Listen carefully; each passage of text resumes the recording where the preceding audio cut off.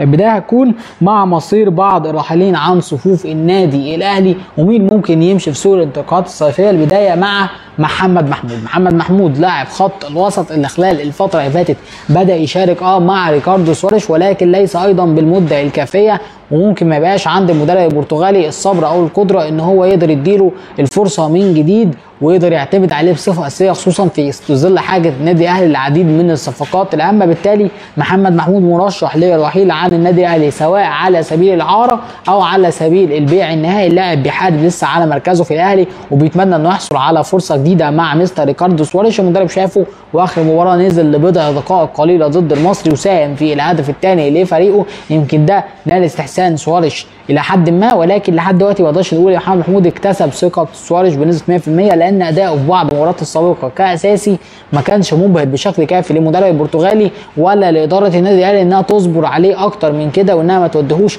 اعاره أو تستغله في أحد الصفقات التبادلية. كمان في لاعب آخر ضمن حسابات النادي الاهلي رحيله وتحديدا بعد ادائه في مباراة المصري صلاح محسن بقت فرصه صعبة في البقاء في صفوف القلعة الحمراء نظرا لمستواه اللي ما كانش في أحسن أحواله. ضد المصري ضيع انفراد بشكل غريب جدا. بالتالي صلاح محسن مهدد أيضا بالرحيل عن النادي الأهلي. يمكن الاعلامي مجدي عبد الغني اتكلم وقال إن ممكن الأهلي يستغل الثنائي صلاح محسن ومحمد محمود وإن هو بيعرضهم على نادي بيراميدز بالإضافة ل 15 مليون جنيه عشان يعمل صفقة قوية جدا ويضم أحد أهم نجوم والمواهب الصاعده في الدوري المصري اللي هنتكلم عنها في نهاية ال live أو في فقرة أخيرة من ال live.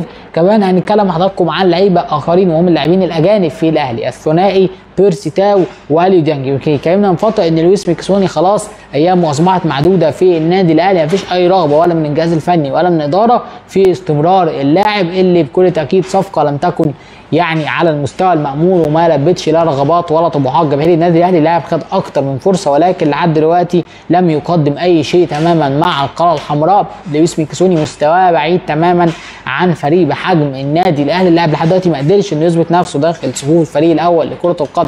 بالفريق الأحمر ولحد دلوقتي ما قدمش المستوى المميز اللي ظهر بيه مع فريق سيمبا التنزاني واللي جذب بيه أنظار النادي الأهلي ودفع إدارة الأهلي ومدربه السابق بيتسو موسيماني للتعاقد معه في بداية الموسم. لذلك موضوع ميكيسوني محسوم بنسبة 99% ولكن الكلام حاليا على الثنائي الآخر بيرسي تاو وأليو ديانج.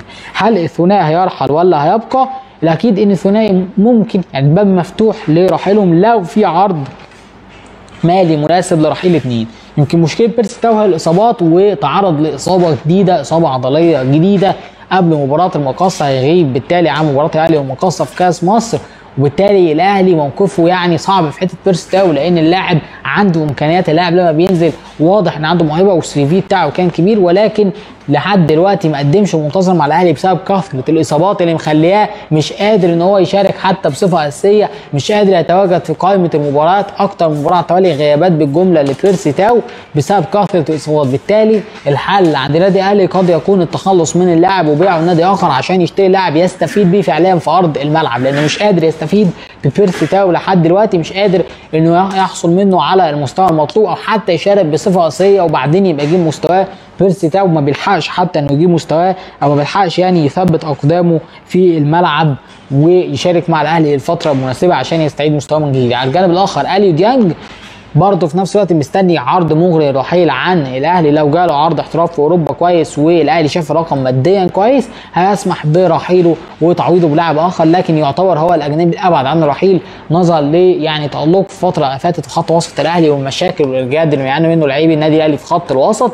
أكيد الأهلي هيجري صفقات جديدة وبالتالي ديانج هو بس مستني عرض قوي من أوروبا. لحد دلوقتي مفيش عرض على الترابيزه قوي يقنع ويغري إدارة الأهلي وأيضا يقنع اللاعب. لكن لو في عرض قوي فالإدارة واللاعب الاثنين مرحبين ولكن لحين إشعار آخر اليو ديانج لحد دلوقتي ما نقدرش نقول إن هو ماشي من الأهلي لحد دلوقتي مصيره لم يحسم حتى الآن مثل مثل بيرسي تاو ولكن فرصه في البقاء أعلى.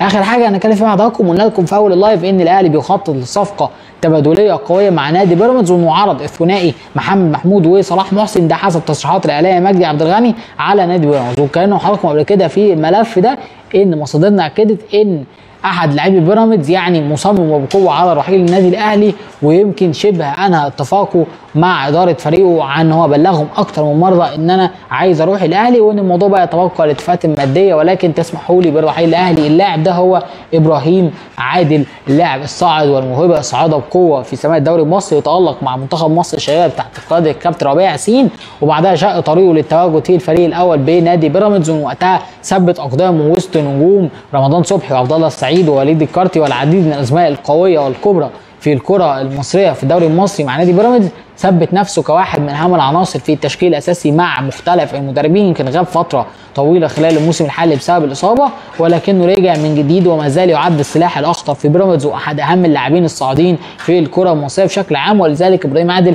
قد تكون صفقة مدوبه عبد الله. النادي الأهلي اللاعب عنده رغبة قوية جدا في الانتقال الأهلي. يمكن رغبة بيراميدز الأولى هي احتراف اللاعب اوروبيا بمبلغ لا يقل عن 5 مليون دولار. ولكن لحد دلوقتي رغبة اللاعب إن هو يبقى في الدوري المصري ولكن بقميص النادي الأهلي ويمكن في نهاية سوق الانتقالات الصيفيه أو تحديدا نهاية الموسم وقبل ما ينتهي سوق الانتقالات قبل بداية الموسم الجديد ممكن الأهلي إنه يعقد جلسة مع إدارة بيراميدز عشان يحاولوا يوصلوا لاتفاق فيما يتعلق بصفقة إبراهيم عادل في ظل رغبة اللاعب الشديدة واللي بيراهن عليها النادي الأهلي في الصفقة دي في ارتداء القميص الأحمر.